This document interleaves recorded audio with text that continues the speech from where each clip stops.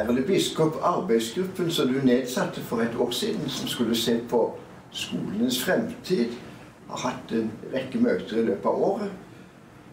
Og det har vært veldig interessant både å gå gjennom og forsøke å se hvordan skolene fungerer i dag, og se på de utfordringer vi har, og hva man kan gjøre i fremtida for at skolene skal kunne bli enda noe mer som er under din overordnede ledelse.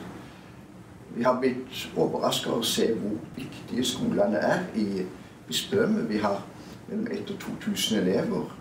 Vi har vel et budsjett på 170 millioner, så det er like mye som alt det andre sammen, vil jeg tro. Og vi har et par hundre ansatte.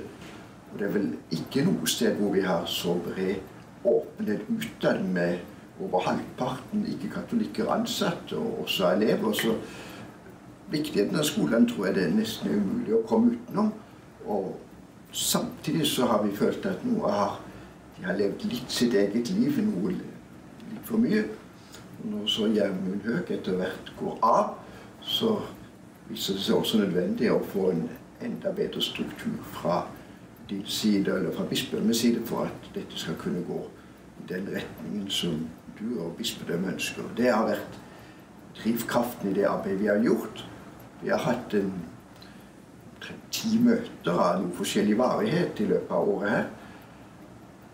Kommisjonen, eller arbeidsgruppen, har vært bredt ansatt, eh, sammensatt, vil jeg si, med eh, prester og eh, en skolestyreleder, en rektor og bispedømmets økonom. Og i tillegg har Sindre Sindre, men Gjermund fungert som sekretær, og med Birgit Kalve som assistent.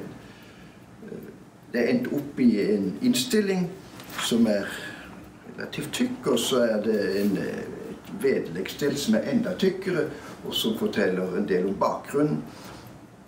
Vi kommer med seks anbefalinger til deg i slutten av innstillingen for å være konkret, så du skal kunne få alt på ett ark. Anbefalingene der er det tre som er mer konkrete, hva som bør skje i fremtiden. For meg så har det vært en veldig interessant å holde med på dette, og en stor ære at du satte meg til å lede arbeidsgruppen. Så på vegne av arbeidsgruppen så overrekker jeg innstillingen vår til deg i dag. Tusen takk. Ehm, jeg takker for at du har ledet dette veldig viktige arbeidet. Skolene er et eh, entydig satsingsområde for bispedømmet. Ehm, men må, satsing må skje bevisst. Og her går jeg ut fra at du har gitt oss et verktøy som vi vil få stor glede og nytte av. Ikke jeg, men vi. Vi har gitt det, men vi har vært Ja, ja. Men det er du som ga ja, ja, ja, ja. Så, Så det er og dermed så anser vi også arbeidet vårt for avsluttet.